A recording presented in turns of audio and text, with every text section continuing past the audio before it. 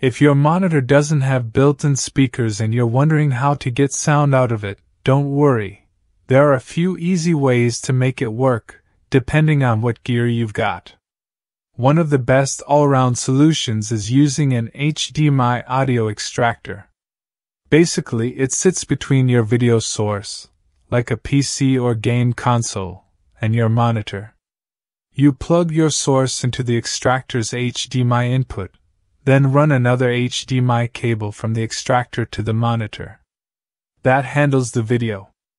Then you use the extractor's audio output, usually a headphone jack or RCA port, to connect headphones or external speakers. Some extractors even have Bluetooth, so you can wirelessly connect to Bluetooth speakers or earbuds. It's a really clean setup once it's plugged in, and it works with pretty much any HDMI monitor. Before you go buying anything though, take a look at your monitor. Some monitors actually have a 3.5mm headphone jack or an audio out port, usually tucked away on the side or back.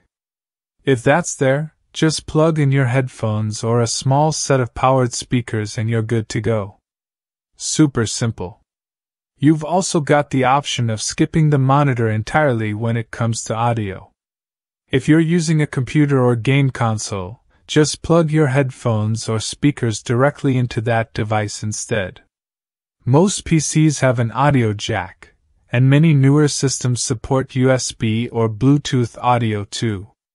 This is especially helpful if your monitor is only there to show the visuals. Before setting everything up, it's a good idea to check your monitor's manual just to see what ports it has.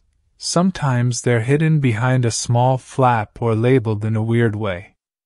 And if you're going with an HDMI audio extractor, look for one that doesn't require extra drivers or software. Just plug it in and it should start working right away.